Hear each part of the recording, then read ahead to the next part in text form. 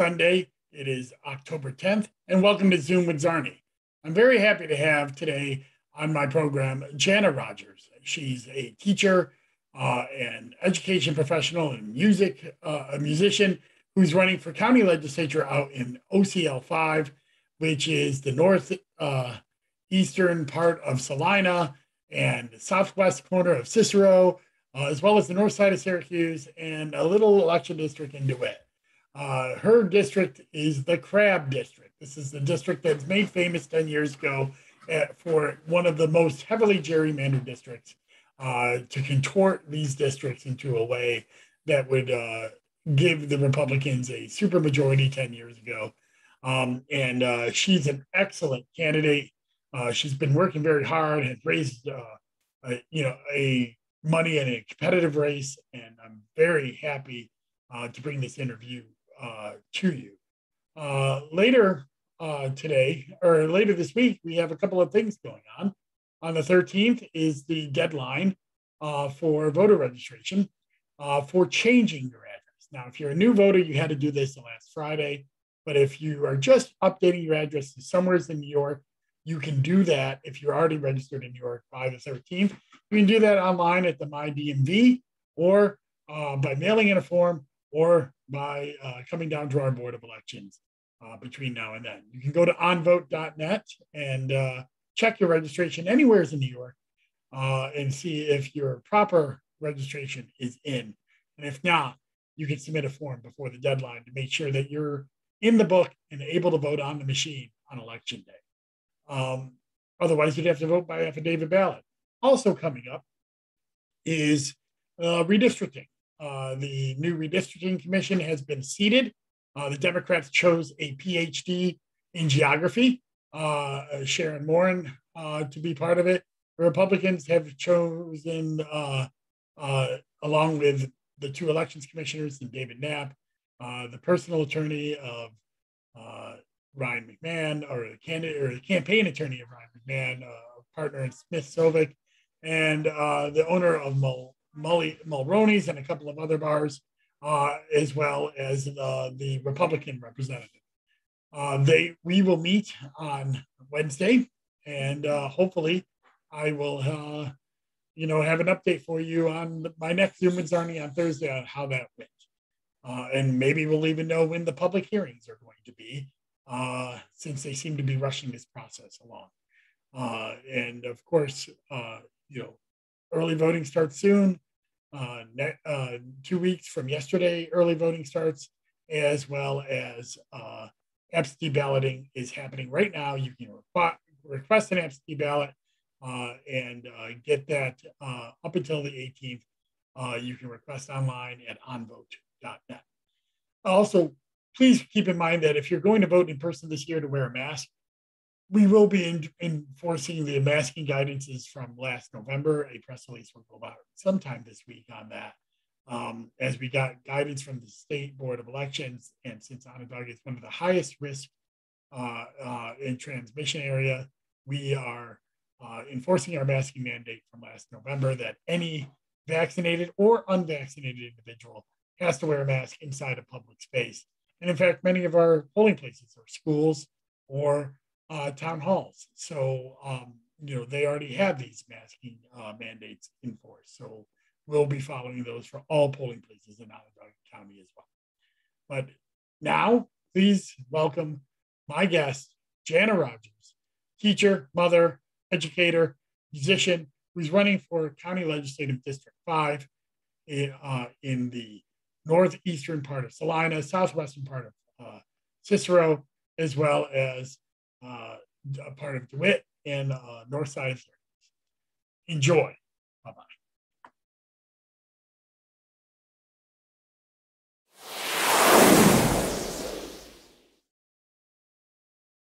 And I'm very happy to have my good friend Jana Rogers, who's running for County Legislative District 5.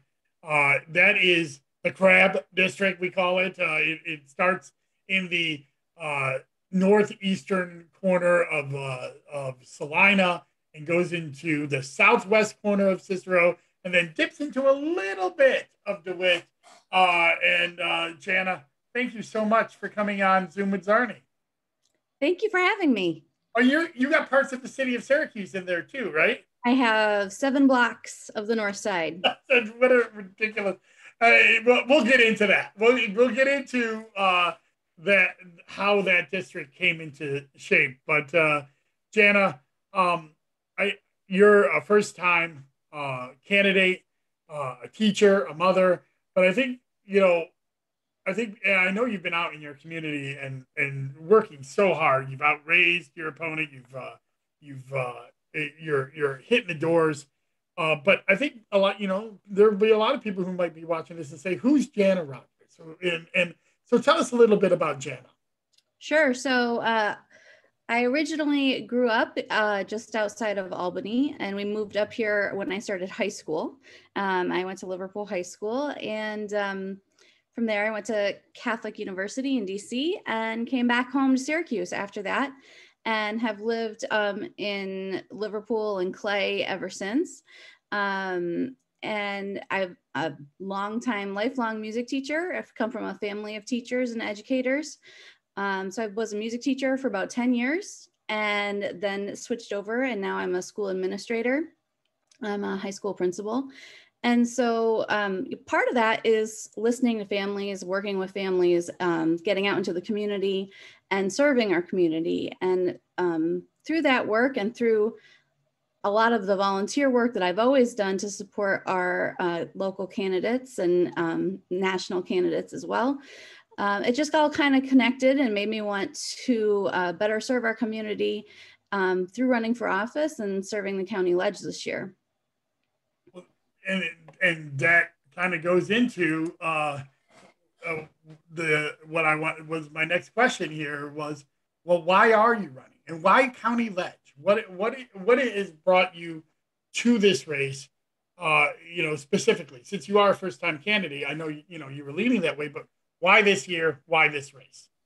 So, um, you know, truthfully, I had to to learn a little myself about what county ledge is because I feel like it's one of the best kept secrets um, in our local politics, and and a lot of people don't know what it is and and what we do. So um, that is something that I'm working really hard to to correct and make sure people know who is representing them and what functions does the county ledge do for our community because it um, has a pretty wide reach and people don't even know about it. So leaning more towards transparency and and getting out there and serving our community in a way that you know makes sense for our communities and people know who's representing them and they know what they're doing for them yeah, I, I I've noticed that too because you said County Ledge is the best kept secret, and I think that's by design.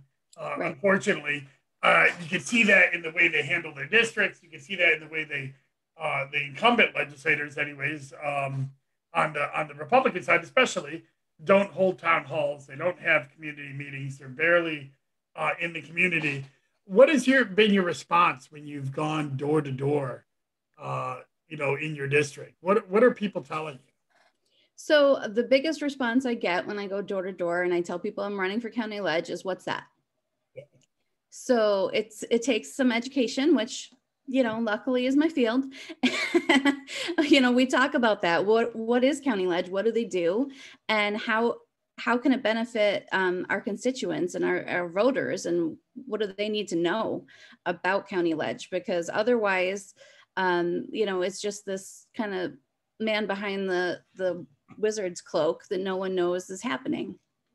Yeah, I I, I think you're right. I mean, it's you know the county budget has 1.4 billion dollar budget, and uh, and and yet and probably has more of an impact on people's day to day lives than their state or uh, federal or even their local town board uh, elections. They the county spends so much money across the county, and and, and the county legislators are the ones who uh, decide where that goes and where it doesn't go.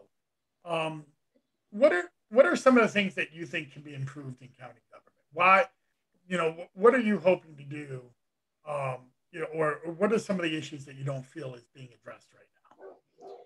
Well, I think uh, we've already touched on one of them, and that's tr- transparency. So making sure that uh, our constituents know what we do and who's doing it and when we're doing it, and um, making those meetings more readily available to people um, is a really big one. But also, you know, we're in the middle of a pandemic, and so we've got a lot of work to do with recovering from that pandemic um, both physically and mentally and fiscally. And so we we this kind of exposed a soft spot, uh, I think, for our county, and I think that we have a lot of work to do um, to make sure that we're prepared for the next uh, county leg.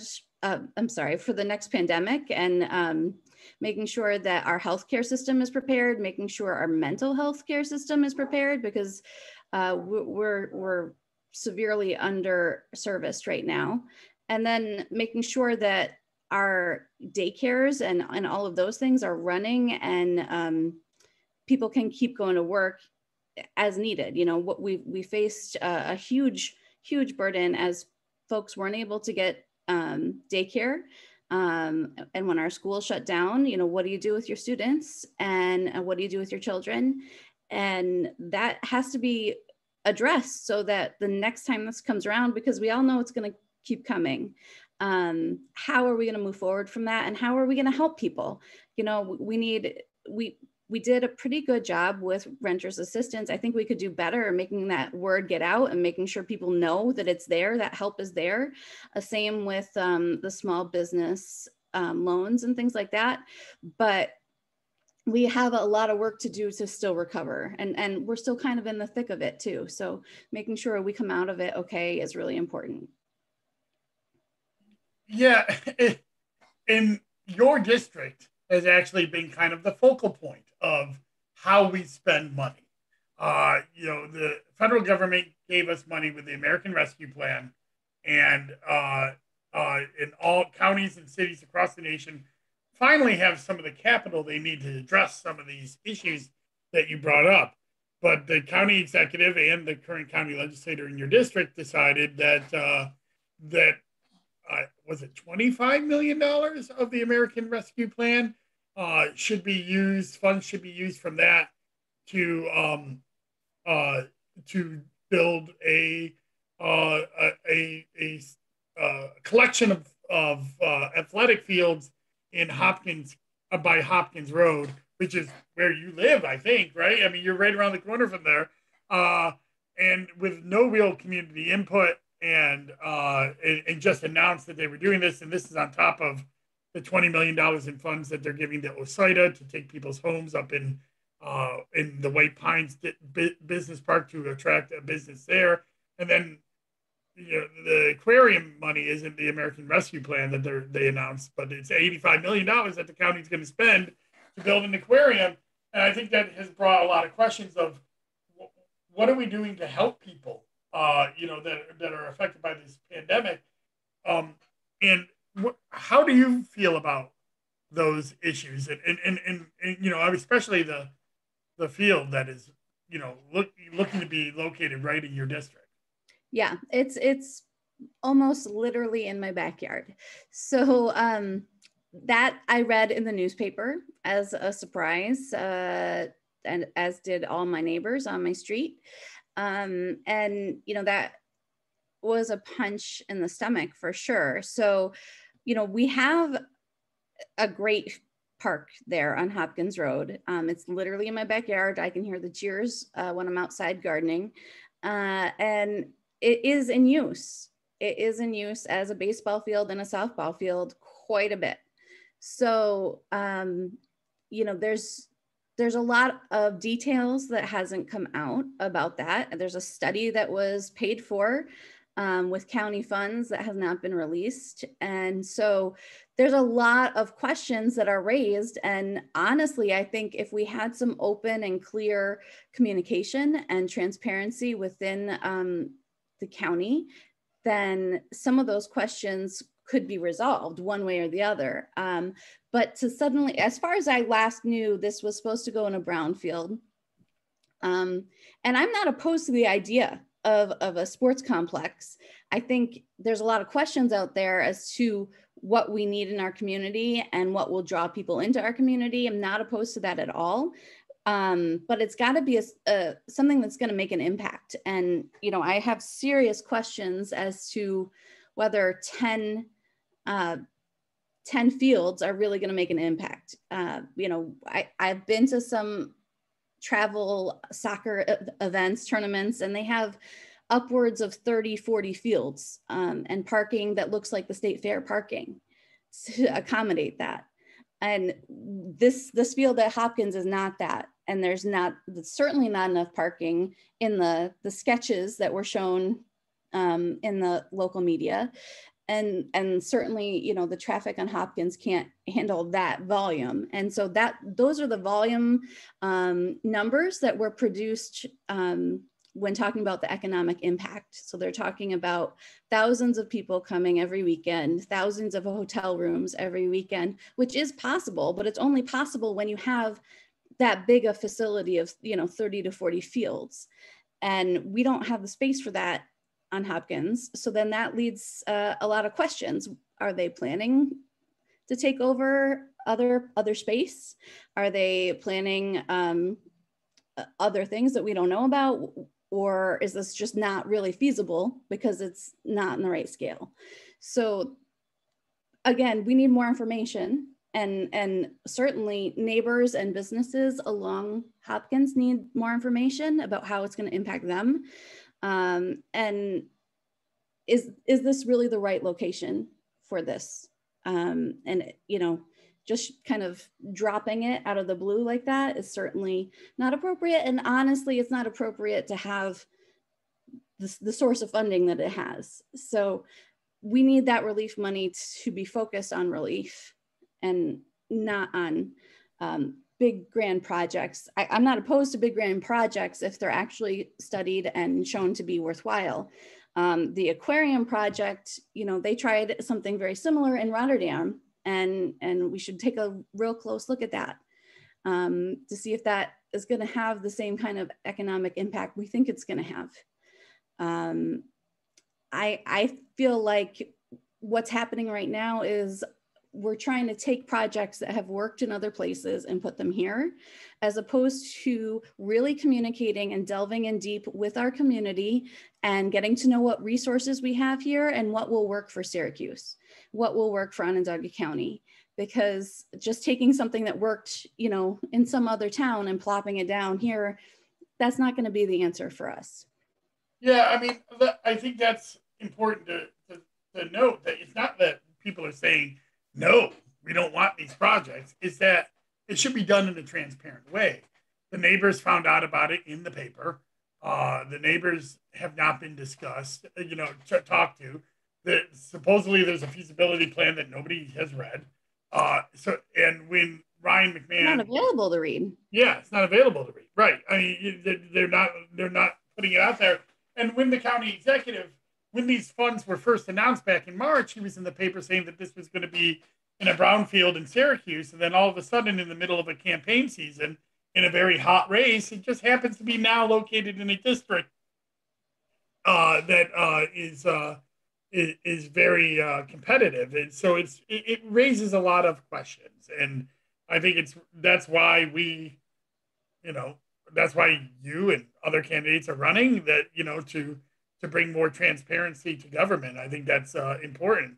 And we had another issue like that, which actually really affects your district quite a bit, and that's the issue of gerrymandering came up again um, uh, this week. Uh, you know, as you know, the, county GOP uh, broke their promises last year to form an independent redistricting commission, then said that they were going to come up with their own plan and never really did and then this week uh, forced a start to the redistricting commission, which has six months to get going. And the only reason they're doing it is so they could be prepared to force a new plan down down uh, voters' throats if Democrats take control of the legislature. Because then, if Democrats took control of the legislature, it would have to be a bipartisan plan, not a partisan plan.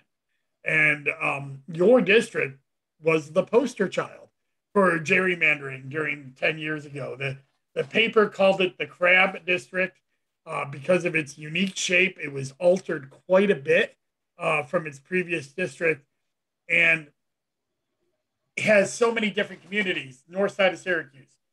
Salina, Maddie, it's Mattydale, right? It's the Salina, mm-hmm. Mattydale area. And then uh, parts of North Syracuse uh, in, in, in Cicero, and then into DeWitt for just one little tiny district. Nobody knows why.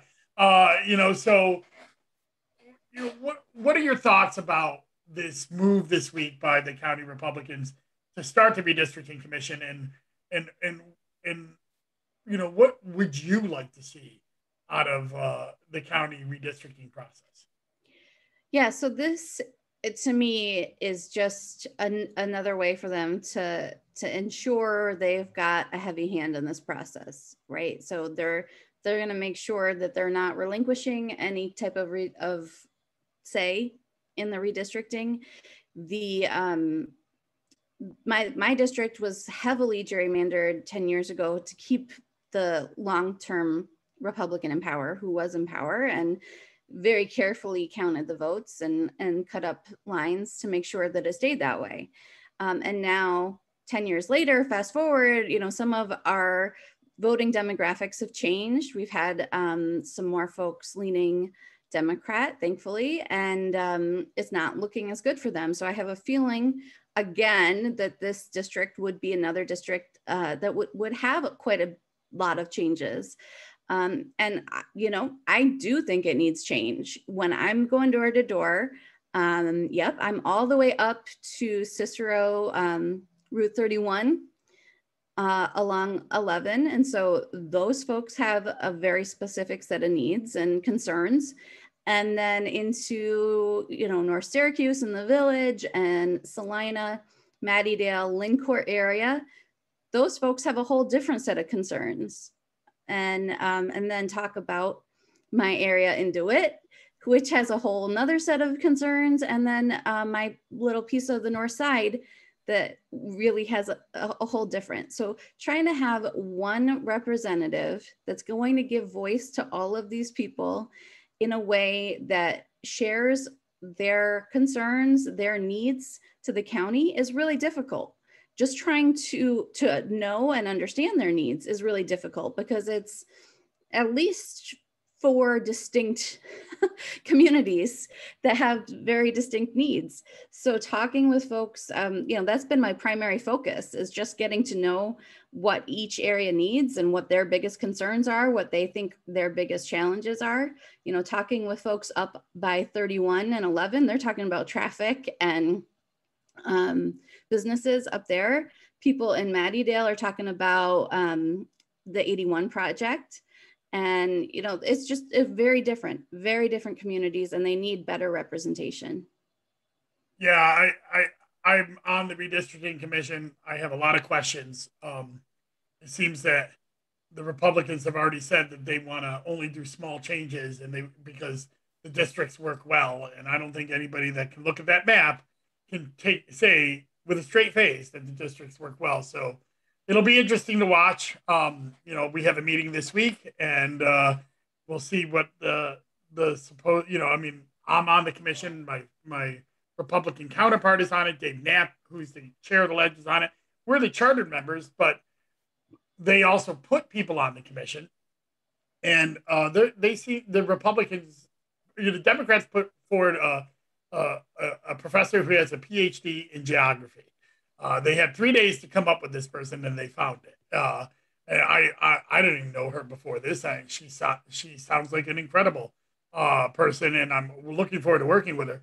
But the Republicans put up the attorney who represents the county executive, uh, and a a tavern owner who, uh, you know, has given, who's supposedly independent, but has held fundraisers and given money to Republican candidates. So, you know, this promise that it was going to be an independent commission by them just has not uh, come true. But we are where we are, and we're going to have to fight, uh, you know, to uh, have the public be heard. And once we find out when the public schedules are on that, we'll have to let people know. Um, but back to your race, Jana. This is one of the the top races in the county. I think uh, you've really got out there and and, and made the case. It's a highly targeted race, um, you know, but you're also campaigning in the middle of COVID. I mean, COVID has affected every part of our life, but not just, uh, uh, you know, what you want to do when you get in this legislature, but how you're getting in. So, what's it like to campaign uh, with the Delta variant raising its head? Yeah, you know, it's it's presents some challenges for sure. So people are less and less willing to come to the door and talk face to face, even with masks on, or people aren't wearing masks. And then, are you comfortable um, talking with them not wearing a mask?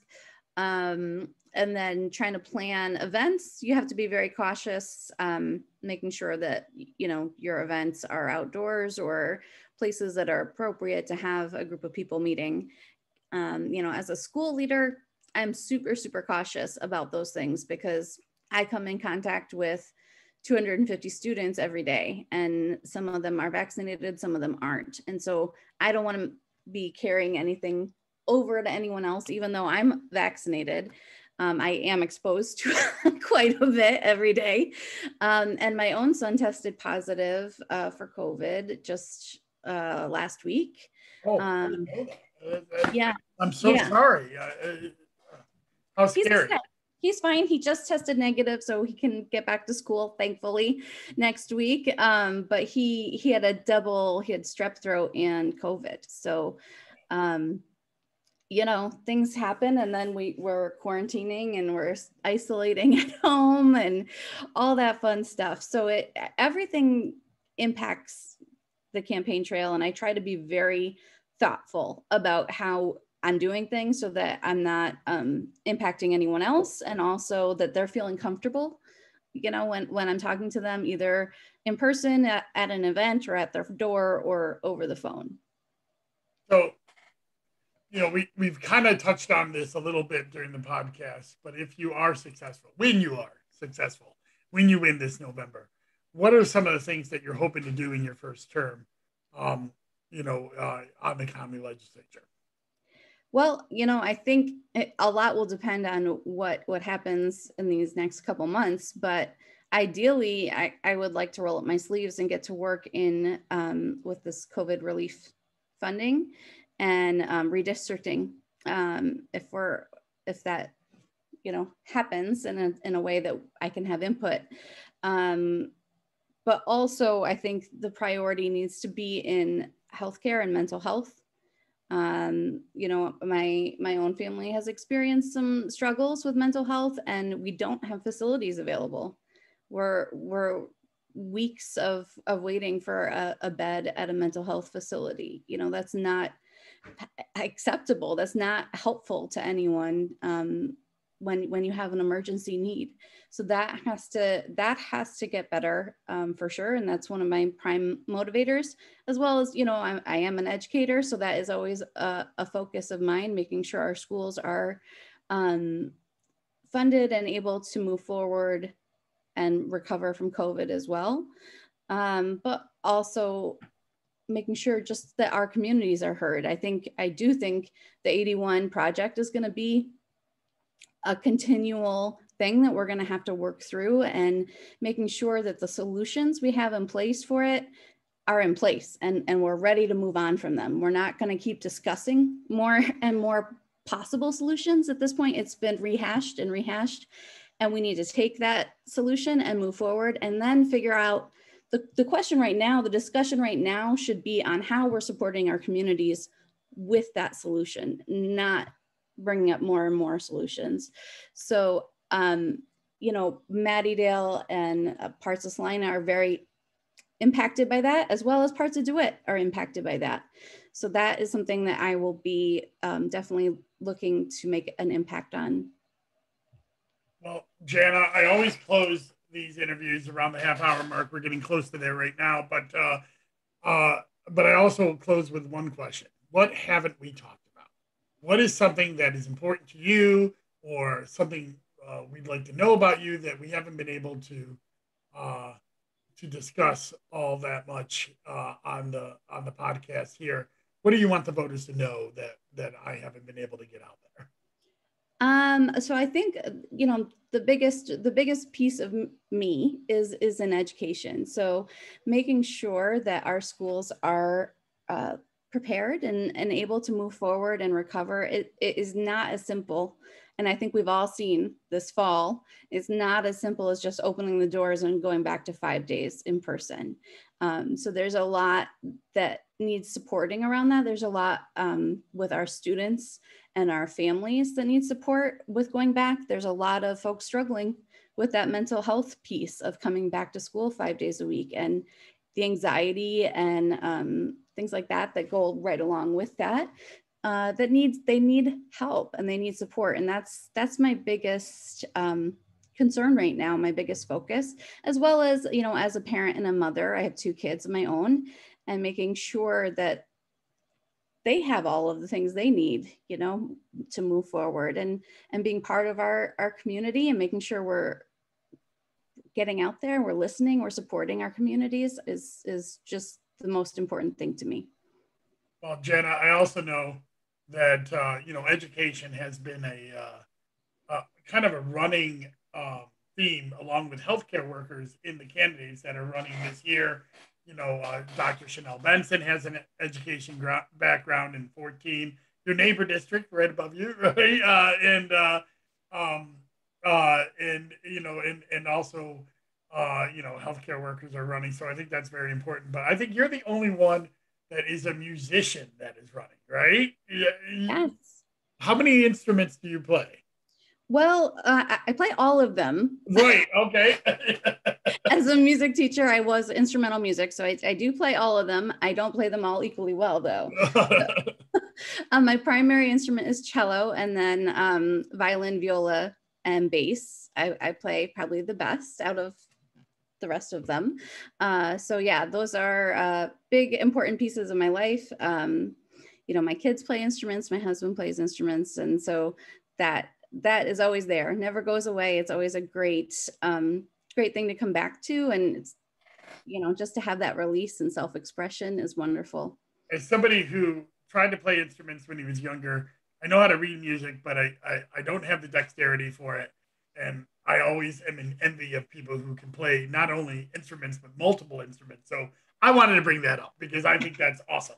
Uh, but uh, Jana, I want to thank you so much. Uh, where can people find you? Uh, do you have a website? Are you on Facebook, Twitter? What, where, where can people find you? Yes, all of the above. So uh, JanaRogersDistrict5.com is my website. And then I also have Facebook and Twitter as well. All right, and you can find it all at your website. Uh, yep. uh, you know, please go there and find out more about Jana. Uh, and you know, we're getting into the into the end of the campaign here. So, as always, I like to end these interviews urging you to go get vaccinated. This Delta variant that is coming up is um, that is still rearing its head. Our caseloads are higher than they've ever been in many on many of these days, and uh, in in that even in pre-vaccine days, it's higher than their hospitals yesterday were put on diversion in Syracuse, New York. That means the beds were full and they had to go to other places. Here, right here in Onondaga County, our caseloads are some of the highest in the nation. So please get the vaccine. That is the best way to uh, um, uh, to to help. And if you can get a booster, get your booster. Yeah, I was about to say, and the booster. Yeah, and and and and and also, I have been starting to wear masks indoors. Uh, I, you know, I started that back in August. Um, you know, and I think that that is uh, a responsible thing to do in our community. We know that masking works because it worked before the vaccine, and uh, and as we're getting into winter, when we're starting to go more and more indoors again, it's going to become more uh, important that those of us who can uh, mask up indoors to protect each other. Uh, but also uh, remember, if you're going to vote this year, you have to mask to go into your polling places. Uh, we will be enforcing mask uh, requirements. There's a recommendation from CDC and the State Board of Elections on that. so you will be, and most of our polling places are schools or town halls uh, that already require masking. So we will be enforcing those masking mandates. So please bring your mask to the polling place. We'll have uh, a supply for those who forget, but those supplies are limited, and uh, we uh, want to make sure that you can cast your vote and keep everybody safe. So thank you very much for coming to Zoom with Czarny today. Thank you again to my guest, Jana Rogers, running for District 5, uh, which is north side of Syracuse, northeast side of Salina, uh, southwest side of Cicero, and the area of DeWitt. Um, and uh, you know, check it out, check her out online, and uh, and please remember to cast your vote this fall uh, as safely as possible. Thank you very much, and enjoy the rest of your day. Bye bye.